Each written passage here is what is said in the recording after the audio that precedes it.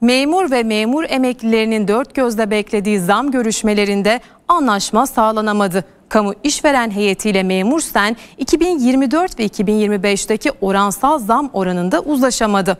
Memur sen Genel Başkanı Ali Yalçın Çalışma ve Sosyal Güvenlik Bakanlığı'ndaki görüşmelerin ardından konuştu.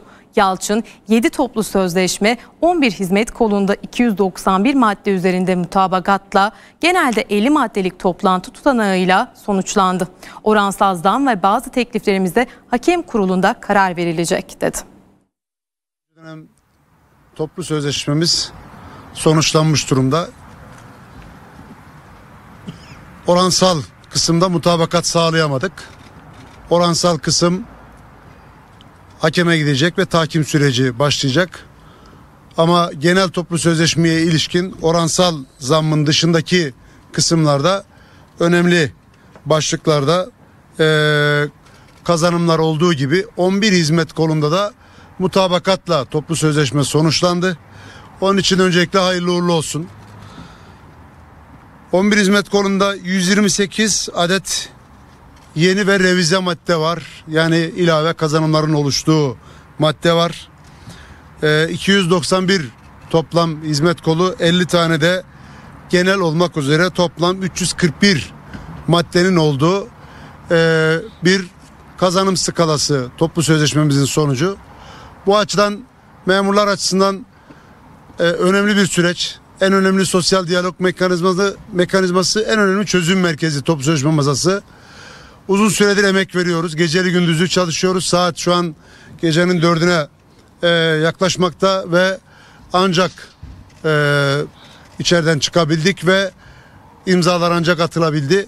Bu da şunu gösteriyor. Memur toplu sözleşmesinde 4688 sayılı yasanın değişmez zaruretini bir kez daha bu durum işaret ediyor.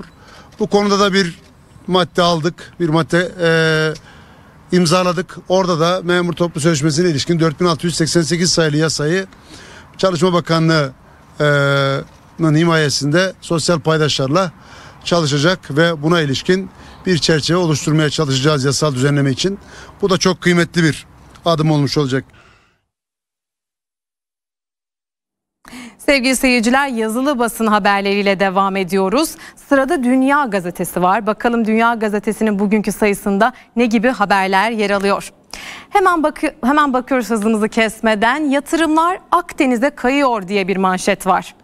Haberin detaylarına bakalım. Marmara bu yıl ilk yarıda 148,5 milyar lira teşvikli yatırımlardan en büyük payı almaya devam ederken geçen yıla göre %134,5 artışla 116 milyar liraya ulaşan yatırımla Akdeniz aradaki farkı kapatıyor diyor haberde. Evet güzel bir haber Marmara dışında başka bölgelerde de bu tarz yatırımların gitmesi çok gerçekten de sevindirici.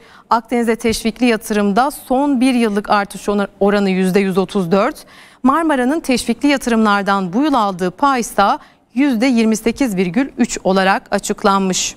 İstihdamda Diyarbakır ikinci sırada yer aldı diye de bir haber mevcut. Dünya Gazetesi'nden bir başka haberle devam ediyoruz.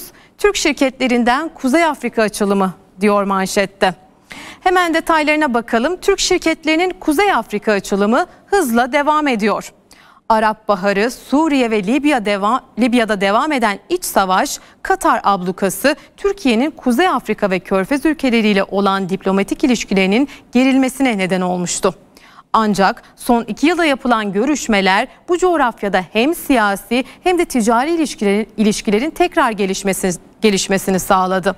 Özellikle Suudi Arabistan, Birleşik Arap Emirlikleri ve Mısır'la atılan köprüler tekrar kuruldu bölge ile Türkiye arasında yeni anlaşmalar, yatırımlar gündeme geldi. Geçtiğimiz ay Cumhurbaşkanı Recep Tayyip Erdoğan'ın Körfez turu 50 milyar dolarlık anlaşmanın da imzalanmasına sahne oldu. Körfez bölgesinde bunlar olurken Kuzey Afrika'da da yılbaşından bu yana önemli anlaşmalar ve yatırımlar gündeme geldi. Koç Holding'le başlayan yatırım süreci işbirlikleri sürüyor. Mısır ve Türkiye arasındaki sağlık işbirliği anlaşması imzalandı. Tunus'taki ilk önemli projelerden birine 3 Türk şirketi teklifte bulundu. Cezayir'in Güneş Santrali projesine Kalyon grubu ilgi gösterirken Çalıksa Libya'daki ikinci enerji santralinin temelini attı diyor haberde. Evet çok önemli aslında açılımlar bunlar. Körfez ülkeleriyle yapılan e, bu anlaşmalar ekonomik açıdan gerçekten de e, çok önem arz ediyor ve aynı zamanda da umut veriyor. Yapılan hem enerji alanında anlaşmalar var. Aslında Türkiye e, Cumhurbaşkanı Erdoğan oraya ziyaretlerinde birçok iş insanıyla gitmiştim. Hem müteahhitlik hem enerji birçok alanda işbirliği anlaşmaları imzalandı. Ee, Körfez ülkeleri gerçekten de Türkiye'ye direkt ve doğrudan yatırımlarını aktarmaya devam edecek gibi gözüküyor.